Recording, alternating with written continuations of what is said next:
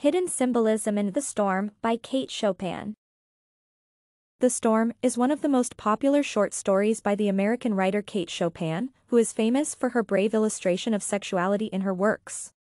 The story is about people waiting for the storm to pass. Though, during this storm, peculiarities of the relationships between the main heroes are shown. The story can be understood literally, but many points and themes can be missed due to its unique way of storytelling. Even the central image, the thunderstorm, is not just a weather condition here. When analyzing the storm, it becomes clear that everything in it has a much deeper meaning, and it is full of hidden symbols. At the beginning of the story, the reader meets Bobinot and his son Bibi, who were at the store when the storm began. They are worried about their wife and mother Calixta, who stayed at home alone and was scared of the sudden weather change. The introduction part of the story reveals many facts about Bobinot and Calixta's marriage. It shows the strict standards of that time, as women back then were supposed to maintain the household, and men were allowed to the outside world. In the first chapter, there is a dialogue in which the head of the family tells his son, maybe she got Sylvie helping her this evening, and Bibi answers that Sylvie helped the mother the day before. The situation proves that the man has little interest in his wife's affairs at home, leaving it all as her responsibility. Back at home, Calixta is worried about the whereabouts of her husband and son. She is sewing when she hears the storm coming and decides to go outside to gather laundry. In this scene, the reader sees that she feels uncomfortable at home, it is indicated by her need to take off the collar of her gown from her throat. The author remarks that the color of her collar is classic white, which is usually associated with purity, and Calixta's restlessness means discomfort with general expectations of female virtue. When outside, Calixta meets Alcée who helps her gather laundry and asks to stay with her until the rain stops. The story immediately reveals the fact that they are former lovers.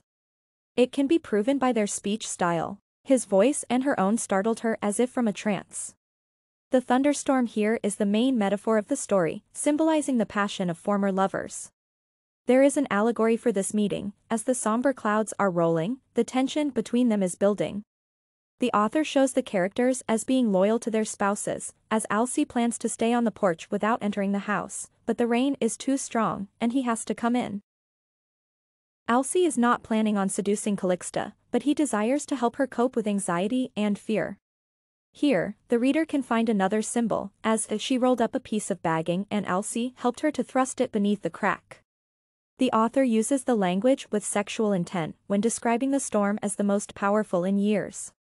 The reader may understand it as if Calixta was saying that she had not been so sexually excited for a long time. Eventually, Calixta and Alcée accept their lust and make love while the storm is still ongoing. In this scene, the white color is mentioned again, describing the woman being as white as the couch she lay upon. It symbolizes again that sex between two lovers is an act of love and not a ferocious betrayal. The author shows the sex of Calixta and Alcée, implying that intimate relations are an integral part of human life. When the storm ends, the sun emerges, turning the glistening green world into a palace of gems. The world becomes more beautiful and happier when the rain ends, as well as the lovers split with a feeling of peace and joy. After Alcée departs, Bobinot and Bibi return home, and they are surprised to find Calixta in a great mood. The romantic episode between her and Alcée worked in the family's favor, as she became more caring, it proved once again that here sex is depicted as a healthy act of love. At the end of the story, Alcée sends a letter to his wife Clarisse, who is on a trip with their kids. The woman finds that she enjoys the feeling of liberation, which she has while being far from her husband. The reader may conclude that Alcée is a husband demanding too much attention from his wife. Thus, in the end, all the characters seem to be content with their lives.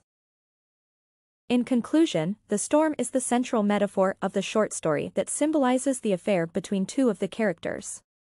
The author implies that their relations are profound and potentially destructive, similar to the weather conditions. Chopin used her story to raise questions about women's sexuality, which was not acceptable to discuss in the society of that time. The author demonstrated not a typical opinion on adultery, showing it as a not bad passage.